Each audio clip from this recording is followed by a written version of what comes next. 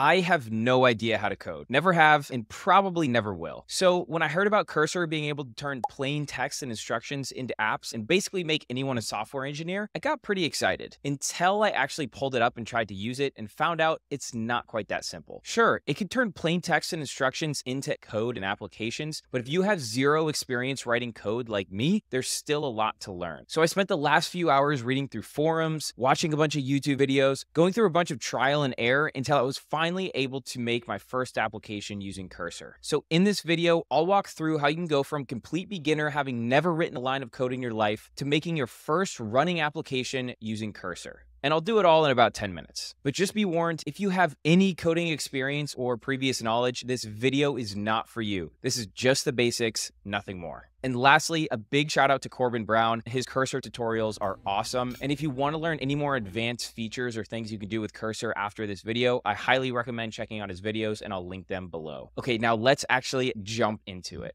Okay, so the first thing you're going to want to do is actually download Cursor. So you're just going to go to cursor.com you can download for free. The actual download process is pretty self explanatory. You just choose your language in English, download it. And once it's actually downloaded, this is the screen that should pop up. This is the cursor application. And over on the side here, you should see cursor tutor. You should go into projects, JavaScript, SRC, index.js. So this is actually where we're going to write most of our code here. And one other thing before we actually jump in, be sure to download Node.js. Before I made this mistake the first time, I could not figure out what was going wrong. So you're just going to go to nodejs.org. You'll download node.js. It's totally free, but you're going to need this in order to run the JavaScript. So I'll link it below, but make sure you have this downloaded before you start trying to run the applications. Okay, so in this actual code editor, now you probably know what I'm talking about. If you're a complete beginner like me and have never written a line of code, this looks like a foreign language. Like to me, I have no idea what any of this means. I know H1 is just heading one and hello world, but other than that, like this is a completely different language that I don't understand. But bear with me because it's all going to come together eventually. The next thing that we're going to do here is actually pull up our terminal. So I'll just go ahead and search terminal. So now I have my terminal and cursor pulled up here. So the first thing that we're going to do is we're going to come over to the terminal here and in our terminal, we're going to type npm space i enter. This is going to run a bunch of stuff. Again, no idea really what any of this means, but you have to do that. So do that first. Next, you're going to type pwd. This is going to show where the code is actually stored at. So users dash Nic Conley is what mine's going to be. Next, you're going to paste in, and all of this will be in the description below, but you're going to paste in cd space users. And then this is going to be whatever yours is right here. I have users dash Nic Conley. This is going to be whatever comes up for you. So you're going to input that for yours and then dot cursor tutor projects JavaScript. Once we have all that, we'll go ahead and hit enter. Now it should say this. So it should say your username JavaScript percent. This is where we're going to type in npm install react scripts. Again, I'll link this below. You're just going to paste this in. It's going to load here for a little while, so just give it a second. Now that's all loaded. Lastly, we're just going to paste npx react scripts start. Once we actually run, this is essentially going to be talking to all of this code we see over here in cursor, and it's going to pull up a local host. And the local host is basically going to show us the interface of our app. So it's not going to be live on the internet. It's only hosted on your computer. But once we actually click this, we are talking to Cursor and we are creating the app. On this, you can see it says hello world. So if we hit enter and everything works correctly, it should pull up a local host where we have a web page that says hello world in an H1 header. Let's go ahead and click enter. Boom. There it is.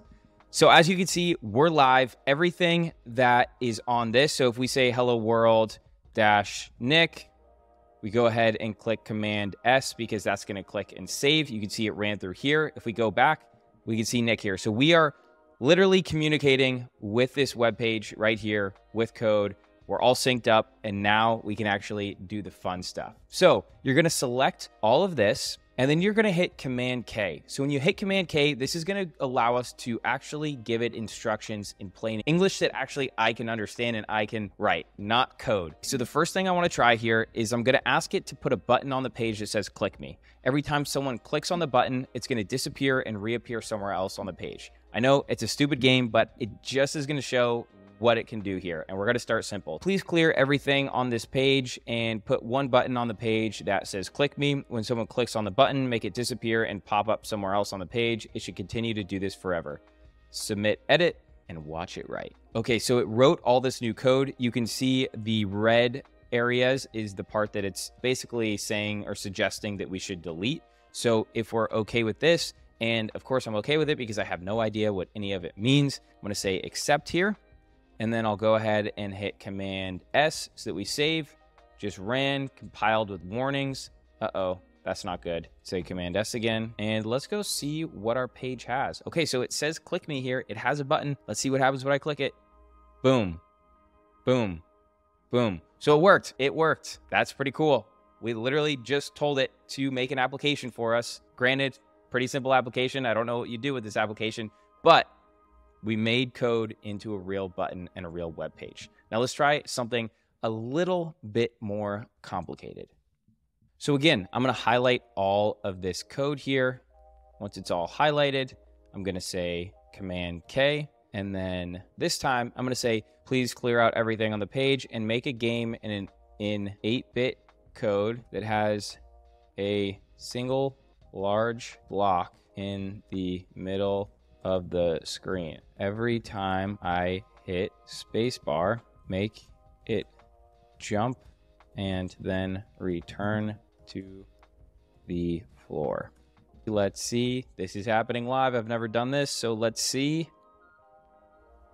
Lots of code. Except this don't look right. That ain't right. Okay. Command K. We're starting fresh. Please clear out everything on the page and make a game in 8-bit code that has a large block in the middle of the screen. I'm going to take out block actually. I'm going to say a large square in the middle of the screen. When I hit spacebar, please make it jump and please make, let's see here, please make the block jump and then return to the ground. Generate. Okay. Okay. Come on.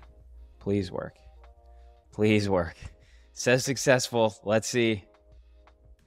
Okay. Okay. We're cooking. Look at that. Space. It worked, baby. Okay, so there you have it. We just went from complete beginners with no experience in coding. As you can see, I still really don't have any experience in coding, and we built an application that actually works with Cursor. And I know this is extremely basic. These apps basically don't do anything and can't really be used for much, but that's the whole point of this. This is not some advanced tutorial. If you want an advanced tutorial, go check out Corbin Brown. This is for all of us beginners that literally have never written a line of code and just want to see how this actually works. If you like this, please drop a comment if you want to see me make a video on something else and do me a favor, hit subscribe and peace.